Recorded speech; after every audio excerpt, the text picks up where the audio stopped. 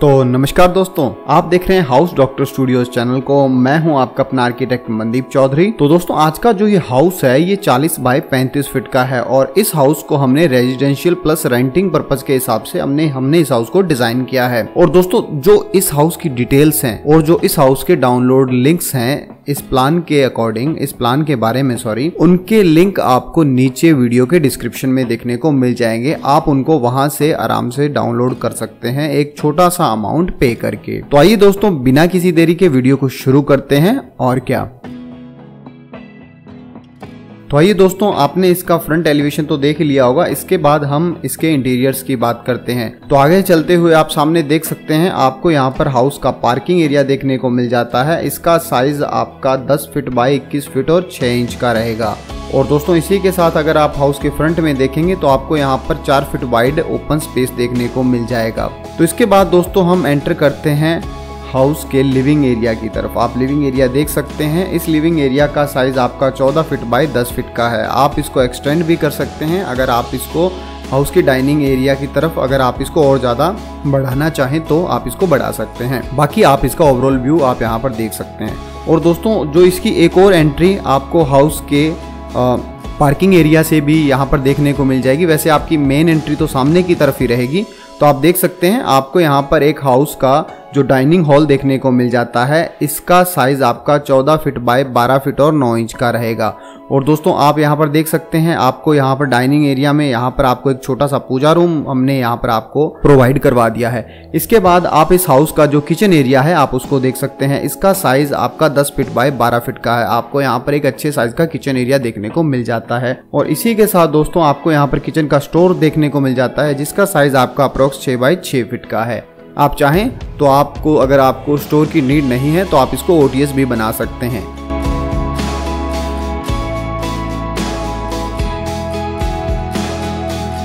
और दोस्तों, इसके बाद चलते हैं हम हाउस के फ़र्स्ट बेडरूम की तरफ़।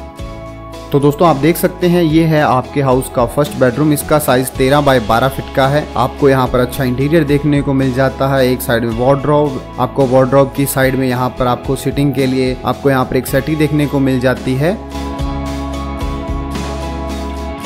दोस्तों, जो ये बेडरूम है, इसकी जो वेंटिलेशन है, वो ओटीएस के थ्रू होगी और जो हाउस का कॉमन टॉयलेट है उसकी वेंटिलेशन भी इसी ओटीएस के थ्रू होगी।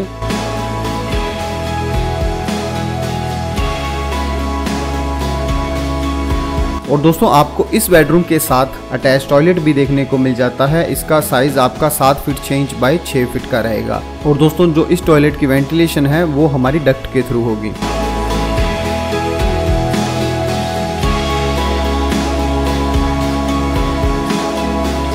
तो दोस्तों, ये है हमारे हाउस का कॉमन टॉयलेट इसका साइज़ आपका 6 फीट बाई 6 फीट और 9 इंच का रहेगा।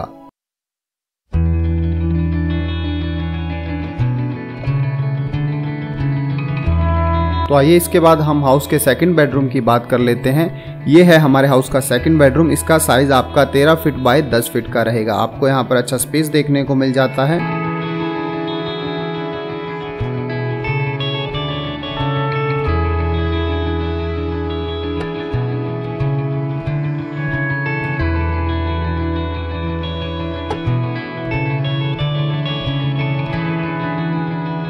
बाकी दोस्तों, आपने यहाँ पर ग्राउंड फ्लोर का ओवरऑल व्यू आपने यहाँ पर देख लिया होगा। इसके बाद हम हाउस के फ़र्स्ट फ्लोर एरिया की तरफ़ चलते हैं। आप स्टेयर्स देख सकते हैं। स्टेयर्स का यहाँ पर कोई इश्यूज़ नहीं है। आप यहाँ पर सोच रहे होंगे कि स्टेयर्स आपकी एंटी क्लॉकवाइज है, ऐसा कोई इश्यूज़ नहीं होता। अगर आपका हाउस रेंटिंग पर्पज के हिसाब से यहाँ पर डिज़ाइन किया गया है तो।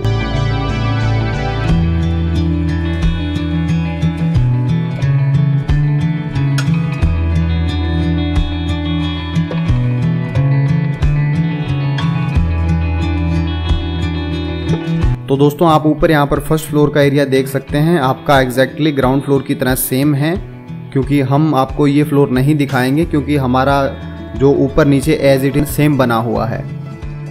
बाकी अगर आप इसकी और ज़्यादा डिटेल्स देखना चाहते हैं तो आपको नीचे इसके डिस्क्रिप्शन में मिल जाएँगी और इस प्लान के डाउनलोड लिंक्स भी आपको नीचे डिस्क्रिप्शन में मिल जाएँगे।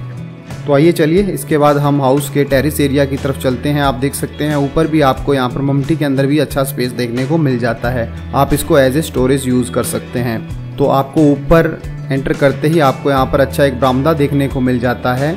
हमने यहाँ पर अच्छी प्लांटिंग की है। आप देख सकते हैं, यहाँ पर आपको स्विंगर भी देखने को मिल जाता है और आपको यहाँ पर गार्डन एरिया भी यहाँ पर देखने को मिल जाएगा। बाकी दोस्तों, जो इसके ओटीएस और जो ये डक्ट वगैरह हैं, आप उनको यहाँ पर देख सकते हैं और हमने वहाँ पर एक परगोला भी हमने आपको यहाँ पर एक प्रोवाइड किया है। तो आप इसका बाकी ओवरऑल व्यू देख लीजिए। अगर वीडियो अच्छी लगी हो तो वीडियो को लाइक ज़रूर कर दीजिएगा और हमारे चैनल को सब्सक्राइब कर लीजिए। तो हम आपको मिलते हैं एक और अच्छी वीडियो के साथ अगली बार। नमस्कार।